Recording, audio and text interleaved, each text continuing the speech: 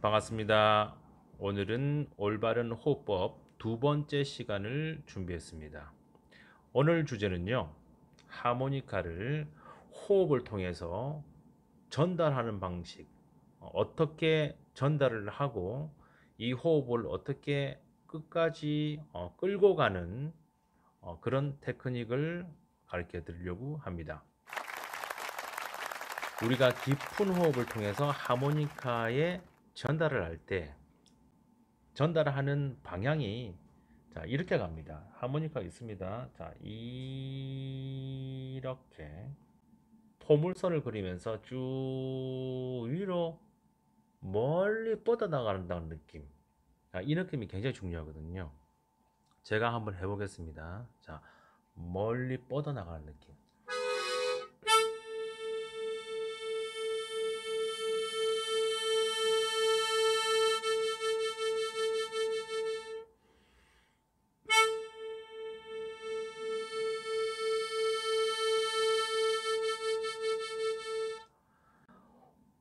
호흡적인 생각을 하지 않고 그냥 일반적으로 불렀을 때 경우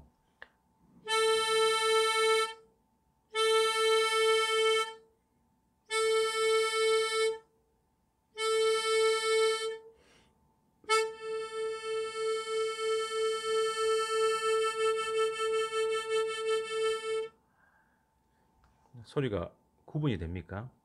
이 몸에서 나오는 호흡이 자 리드를 건드리게 되지 않습니까? 리드를 건드릴 때 둥근 소리가 리드를 때린다는 느낌으로 다시 설명해 드릴게요. 자, 둥근 호흡이 자, 둥근 호흡이 리드를 때려준다는 느낌, 가볍게 때려준다는 느낌으로 하모니카를 부셔야 됩니다.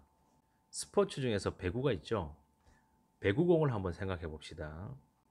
프로 배구 선수들이 배구공을 상대편으로 넘길 때, 자, 치는 방법입니다. 자, 최고점으로, 어, 배구공이 최고점으로 올라가서 내려가기 직전, 즉, 어, 최고점으로 도달했을 때, 위에서 아래로 때려치는 거죠. 위에서 아래로 때려치는 거. 자, 이렇게 치지는 않는다는 거죠. 뭐, 이렇게. 이렇게 배구공을 치지는 않죠. 자, 항상 이렇게. 자, 느낌이. 자, 호흡이. 자, 방금 배구공과 비교를 했지만, 자, 하모니카 안에 리드를 호흡이 때릴 때 어떻게 때리냐.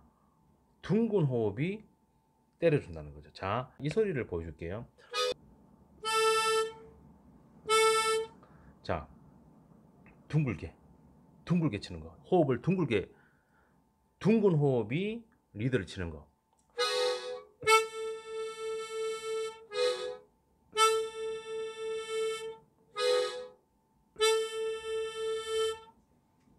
앞 시간에도 말씀드렸지만 처음에 불 때 항상 들어 마시고 나서 한번 불어주라는 거죠. 항상 예비 호흡을 내부는 음을 먼저 했을 경우에 자 들어 마시는 호흡을 먼저 하고 자 하모니카의 단점이 뭐라고 했죠? 공명을 이루는 공간이 굉장히 협소합니다. 하모니카 구조상. 그래서 이 공명통을 우리 몸에다 만든다는 거죠. 그래서 들어 마실 때 여기서부터 출발해야지 호흡이 어, 이만큼의 어떤 여유분의 호흡이 준비가 된 상태로 하모니카로 나가는 거죠. 자, 이렇게 부른다든지 자, 이 목에만 머물리는 호흡으로는 깊은 호흡을 깊은 하모니카 소리를 내기가 한계가 있습니다. 하지만 한번 들어 마셔서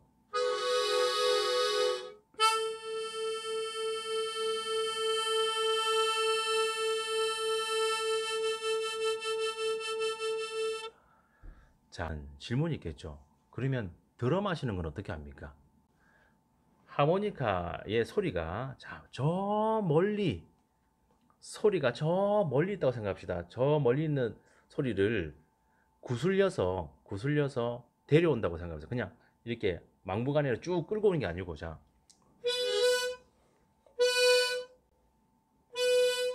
막무가내 끌고 온다는 느낌으로 하지 마시고 잘 구슬려 가지고 야 너 이렇게 와봐봐 자 구슬려서 오는 느낌 자 보세요 저 멀리 있는 호흡을 잘 구슬려서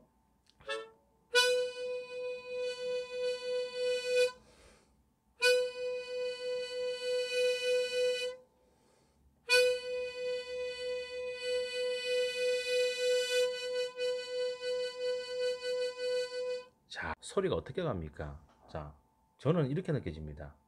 포인트가 하나 찍히고, 자, 이렇게 갑니다. 이렇게. 자, 다시 한번 설명해 드릴게요. 자, 포인트.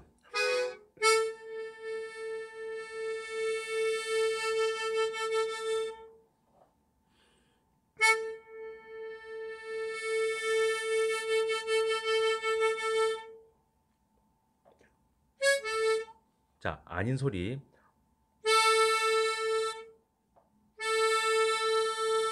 좋은 연주가 될 수 없습니다. 이런 소리는. 자.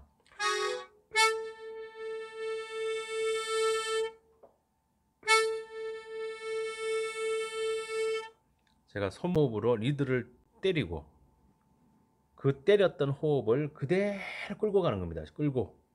자. 그러면 이런 그래프가 나오거든요. 보통 음이 음의 성질이 처음에 어, 소리가 나고 나서 이런 용어를 전문 용어로 어택이라고 합니다. 어택 출발점 자 포인트가 찍힙니다.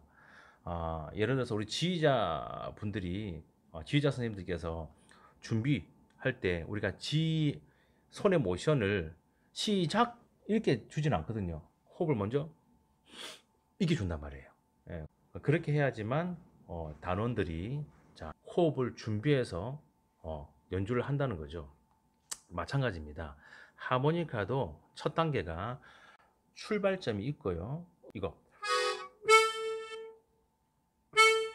자, 이 어택에서 어, 소리의 성질은요.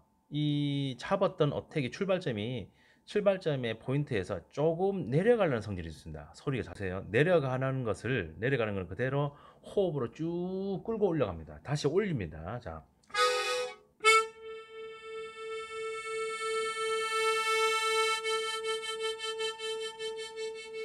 자연스럽게. 자, 그래서 들어 마시는 것도 마찬가지입니다.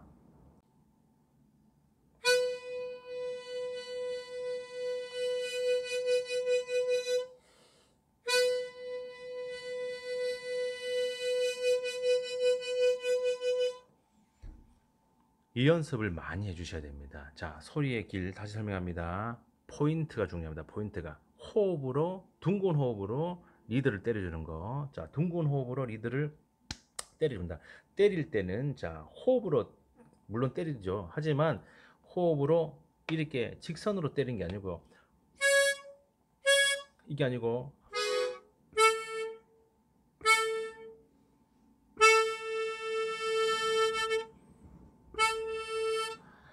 그러면 질문이 있겠죠. 이걸 과연 어떻게 어, 곡에 응용을 시키죠? 예를 들어 학교종이라는 노래를 한번 시범 삼아 불러보겠습니다. 자, 하나는 어, 우리가 깊은 호흡이라든지 어택이라든지 그 다음에 호흡을 둥근 호흡으로 어, 이렇게 리드를 치, 는 전부 다 무시하고 일반적이 일반적으로 부는 방법.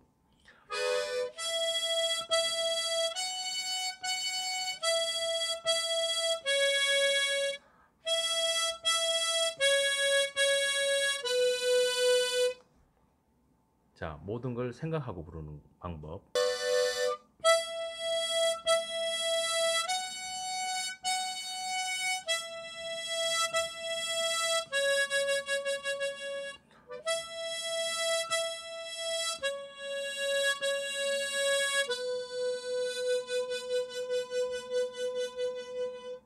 마지막으로 정리해 드립니다. 깊은 호흡이 하모니카 리드를 전달할 때 둥근 호흡이 리드를 가볍게 때려준다는 느낌.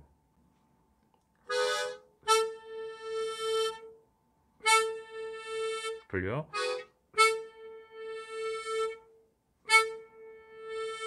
이거. 자.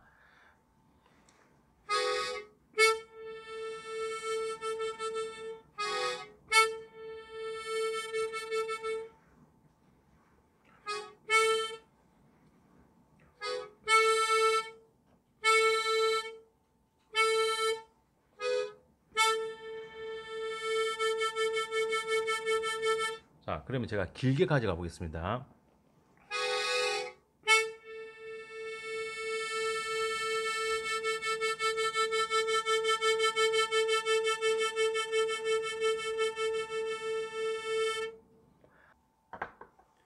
자, 소리의 길이 보이십니까?